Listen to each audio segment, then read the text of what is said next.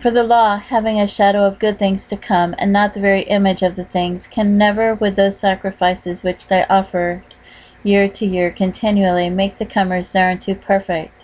For then would they not have ceased to be offered, because that the worshippers once purged should have had no more conscience of sins. But in those sacrifices there is a remembrance again made of sins every year. For it is not possible that the blood of bulls and of goats should take away sins. Wherefore, when he cometh into the world, he saith, Sacrifice and offering thou wouldest not, but a body hast thou prepared me. And burnt offerings and sacrifices for sin thou hast had no pleasure. Then said I, Lo, I come, in the volume of the book it is written of me, to do thy will, O God. Above, when he said, Sacrifice and offering, and burnt offerings, and offering for sin, thou wouldest not, neither hadst pleasure therein, which are offered by the law. Then said he, Lo, I come to do thy will, O God. He taketh away the first, that he may establish the second. By the which will we are sanctified through the offering of the body of Jesus Christ once and for all. And every priest standeth daily ministering and offering oft times, oftentimes the same sacrifices which can never take away sins.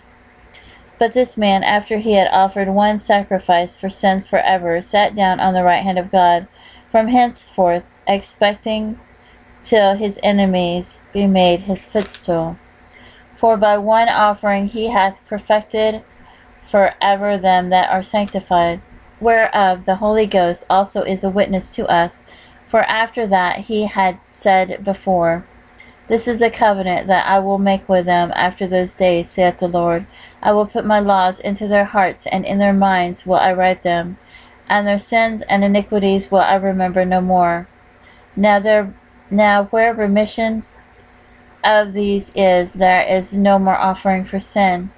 Having therefore, brethren, boldness to enter into the holiest by the blood of Jesus, by a new and living way which he hath consecrated for us, through the veil that is to say his flesh, and having an high priest over the houses of God, house of God, let us draw near with a true heart and a full assurance of faith, having our hearts sprinkled from an evil conscience and our bodies washed with pure water.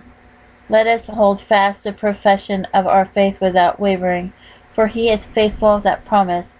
And let us consider one another to provoke unto love and to good works not forsaking the assembly of ourselves together as the manner of some is, but exhorting one another, and so much the more as ye see the day approaching.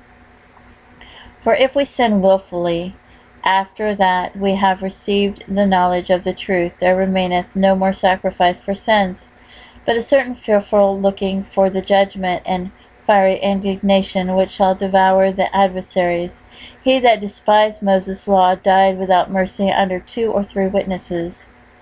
Of how much sore punishment, suppose ye, shall he be thought worthy, who hath trodden under foot the Son of God, and hath counted the blood of the covenant wherewith he sanctified an holy thing, and hath done despite the Spirit of grace?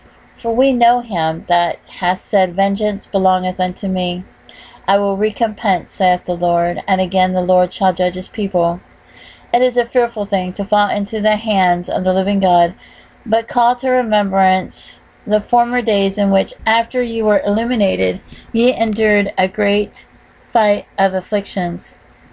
Partly whilst you were made a gazing stock both by reproaches and afflictions, and partly whilst ye became companions of them that were so used.